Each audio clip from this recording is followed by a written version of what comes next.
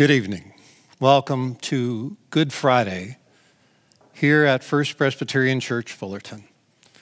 Tonight, we step into that very dark and difficult day, that day where Christ gave his life for ours, a day of darkness.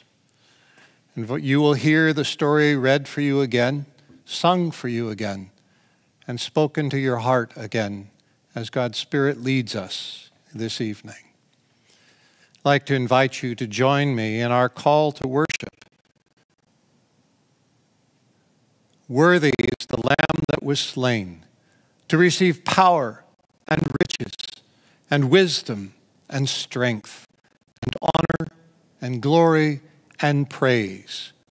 We worship you.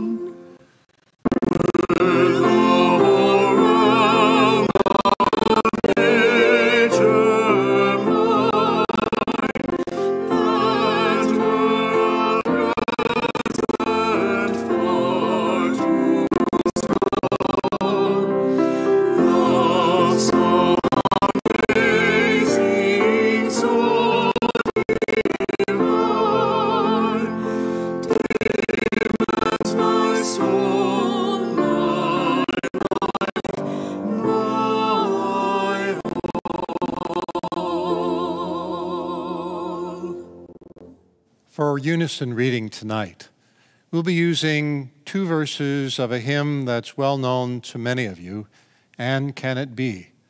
But tonight I want you to read it, to listen to it, and what it says to our lives this evening. Join me. And can it be that I should gain an interest in my Savior's? Died he for me who caused his pain? For me who him to death pursued. Amazing love. How can it be that thou, my God, should die for me? He left his Father's throne above. So free, so infinite his grace, emptied himself of all but love and bled for Adam's helpless race. Tis mercy all immense and free, for, oh my God, it found out me. Amazing love, how can it be that thou, my God, should die for me?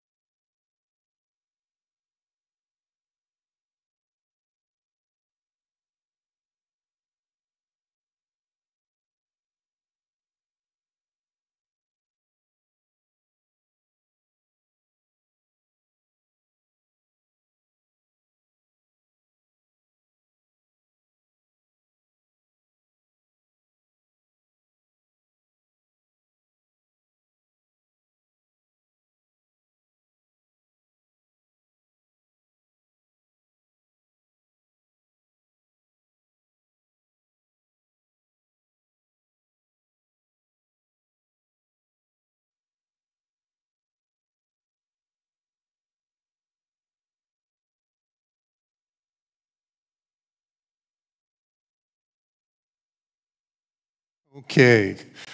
Glad that you could come back to us, that we could come back to you. This is such an amazing experiment that we're working on, and such creative and energetic people trying to make it all work. So let me, I don't know where you, I, you lost me. I lost you somewhere in there too. Let's return to our unison reading, again from the, uh, the hymn, And Can It Be? Nope.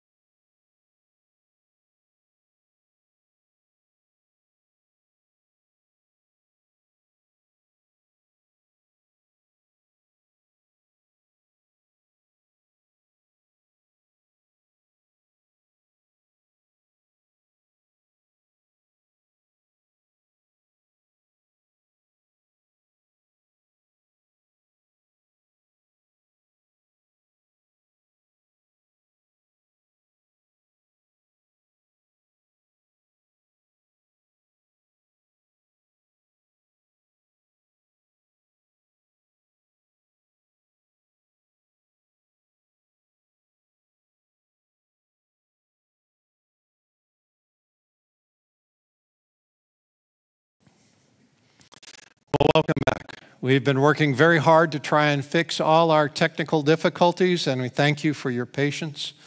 And know that uh, this grand experiment that we're about is never simple and never is easy in practice as it is in real life. So here we go again. We're going to go back to our unison reading from the hymn, And Can It Be, and invite you to read it with me. And can it be? That I should gain an interest in my Savior's blood. Died he for me, who caused his pain, for me, who him to death pursued. Amazing love. How can it be that thou, my God, should die for me? He left his Father's throne above, so free, so infinite his grace, emptied himself of all but love and bled for Adam's helpless race. Tis mercy all, immense and free. Oh, for oh my God, it found out me. Amazing love. How can it be that thou, my God, should die for me? Amen.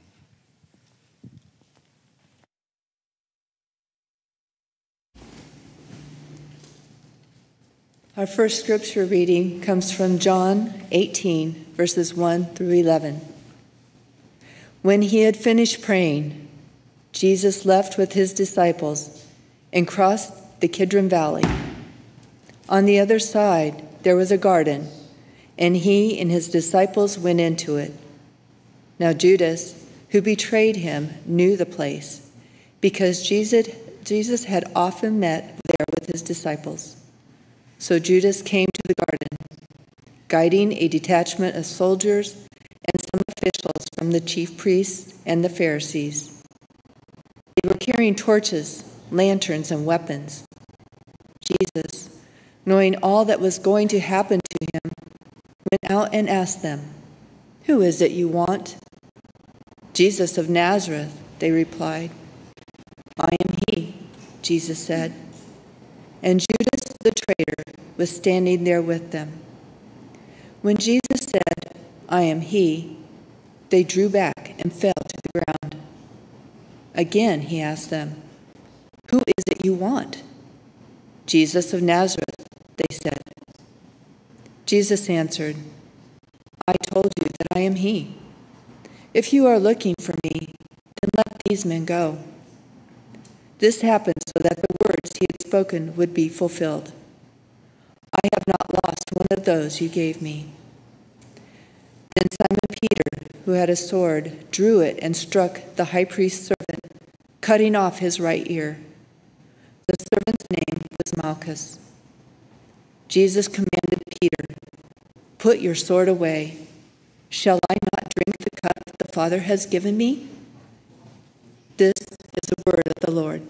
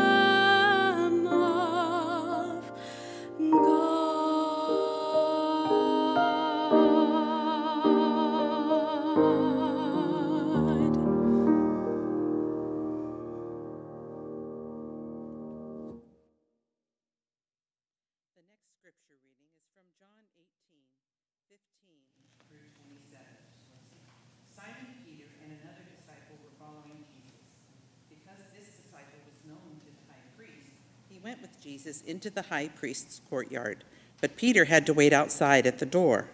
The other disciple, who was known to the high priest, came back, spoke to the servant girl on duty there, and brought Peter in. You aren't one of this man's disciples, too, are you? she asked Peter. He replied, I am not. It was cold, and the servants and officials stood around a fire they had made to keep warm. Peter also was standing with them, warming himself. Meanwhile, the high priest questioned Jesus about his disciples and his teaching. I have spoken openly to the world, Jesus replied. I always taught in synagogues or at the temple where all the Jews could come together. I said nothing in secret. Why question me? Ask those who heard me. Surely they know what I said. When Jesus said this, one of the officials nearby slapped him in the face. Is this the way you answer the high priest? he demanded.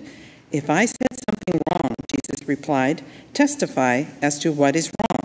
But if I spoke the truth, why did you strike me? Then Annas sent him bound to Caiaphas the high priest. Meanwhile, Simon Peter was still standing there warming himself, so they asked him, You aren't one of the disciples too, are you? He denied it, saying, I am not. One of the high priest's servants, a relative of the man whose ear Peter had cut off, challenged him. Didn't I see you with him in the garden? Again, Peter denied it, and at that moment a rooster began to crow. This is the word of the Lord.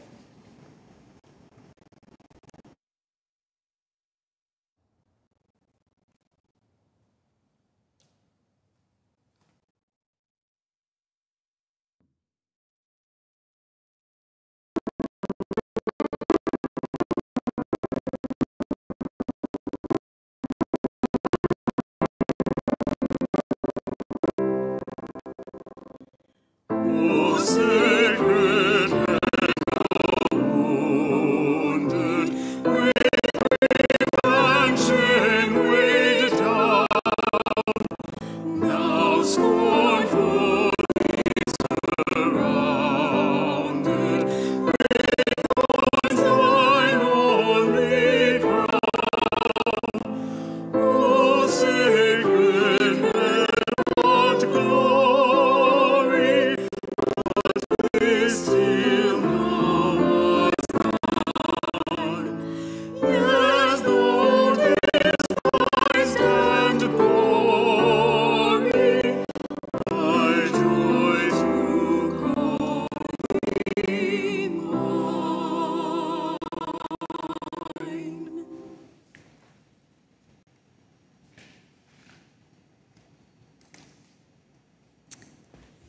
Then Pilate took Jesus and had him flogged.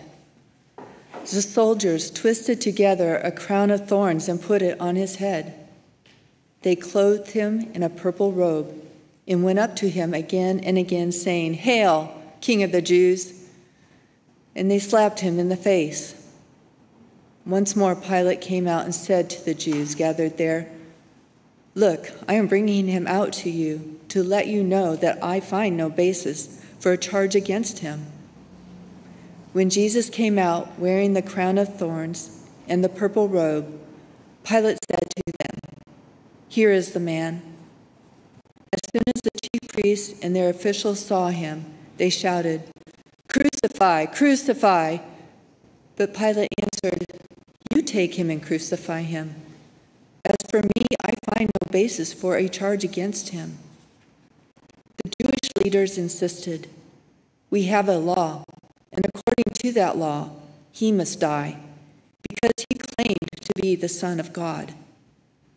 When Pilate heard this, he was even more afraid, and he went back inside the palace. Where do you come from? he asked Jesus. But Jesus gave him no answer. Do you refuse to speak to me? Pilate said. Don't you I have power either to free you or to crucify you? Jesus answered, You would have no power over me if it were not given to you from above. Therefore, the one who handed me over to you is guilty of a greater sin. From then on, Pilate tried to set Jesus free. But the Jewish leaders kept shouting, If you let you are no friend of Caesar. Anyone who claims to be a king opposes Caesar. When Pilate heard this, he brought Jesus out and sat down on the judge's seat at a place known as the stone pavement, which in Aramaic is Gabbatha. It was the day of preparation of the Passover. It was about noon. Here is your king, Pilate said to the Jews. They shouted, Take him away, take him away, crucify him. Shall I crucify your king? Pilate asked. We have no king but Caesar, the chief priest answered. Finally, Pilate handed him over to be crucified. This is the word of the Lord.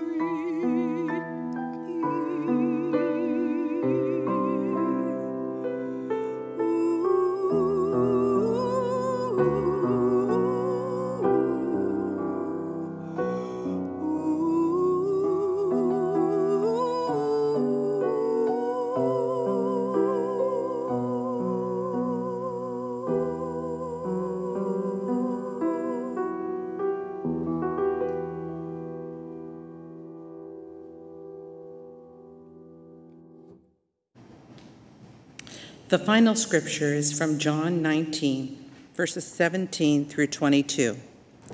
Carrying his own cross, he went out to the place of the skull, which in Aramaic is called Golgotha.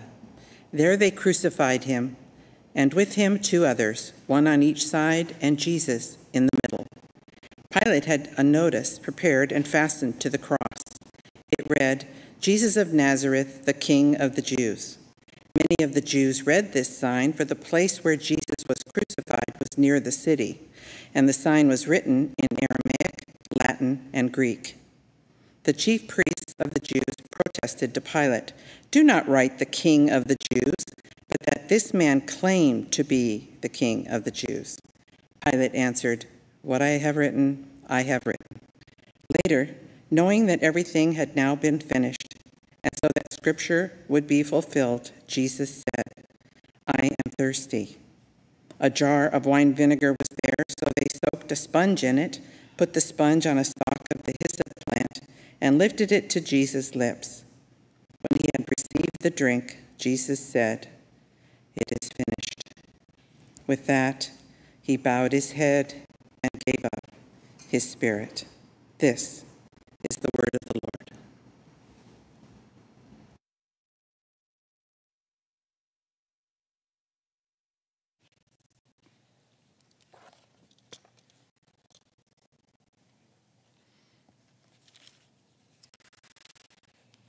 From Luke's Gospel, chapter 23, verses 44 and 45.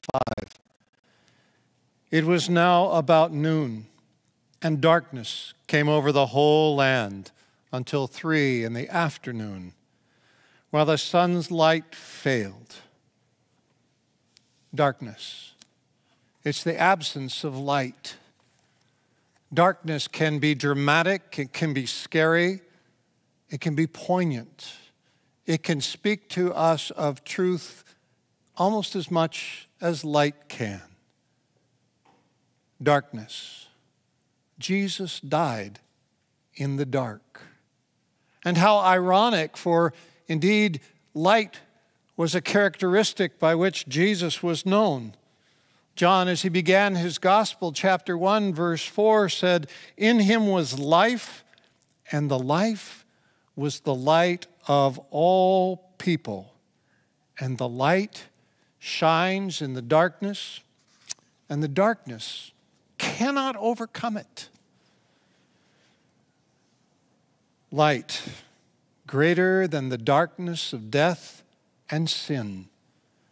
How hard it must have been to keep that light alive, to let that light shine in all that darkness and all that pain that was poured out upon him that day. And then the sun stopped shining. But that light remained. That light, the light of Christ, continued in the darkness. John chapter 8, verse 12. Again, Jesus spoke to them, saying, I am the light of the world.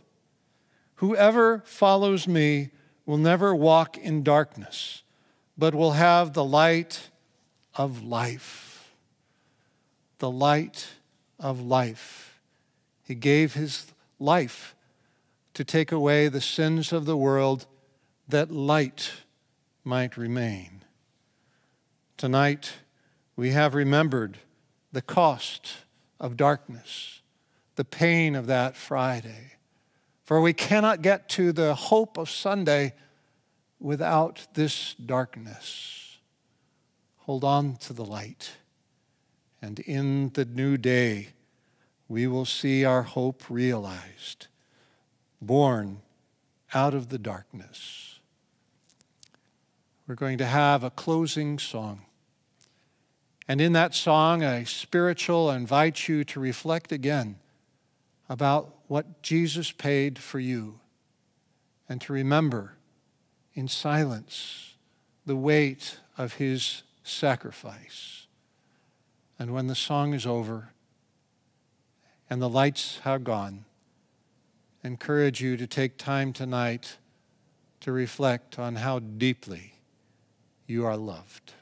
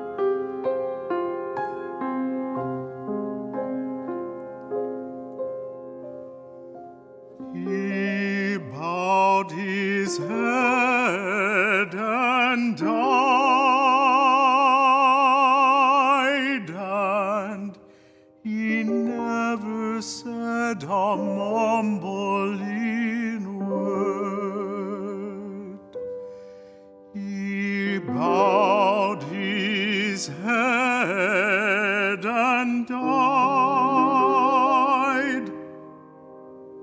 And he never said a mumbling word,